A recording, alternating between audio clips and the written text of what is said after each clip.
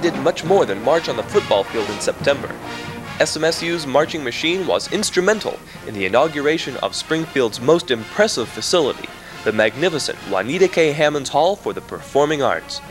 Taking time to give the hall the welcome it deserved didn't detract from the band's halftime performances, however. Motion pictures inspired the highlighted selections from the Bruin Pride Band's September 19th show. 76 trombones got the crowd cheering, followed by I Will Follow Him and Shout. The dynamic combination showcases keyboard, vocals, and horn flashes galore to turn a command performance into a musical extravaganza.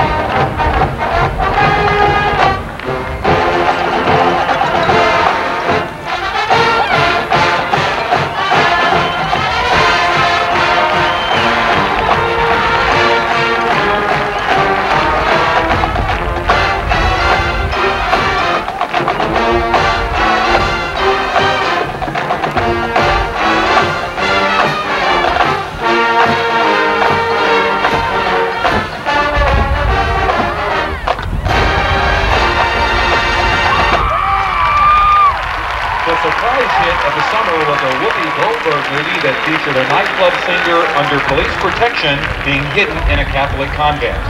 Her acceptance by the sisters in the convent and her subsequent success in transforming their rather inadequate choir into an exciting musical voice for the church provided a humorous setting for the movie.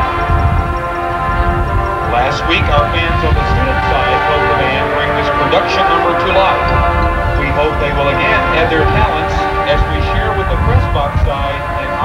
performance of this fun parody.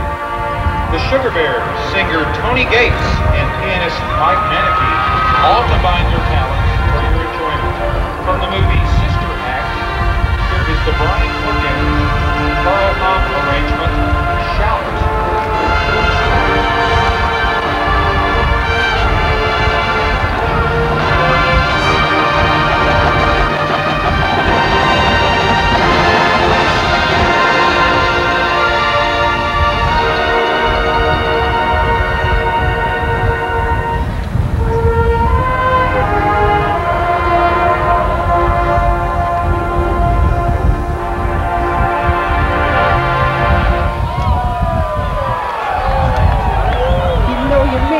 me shout, lift my hands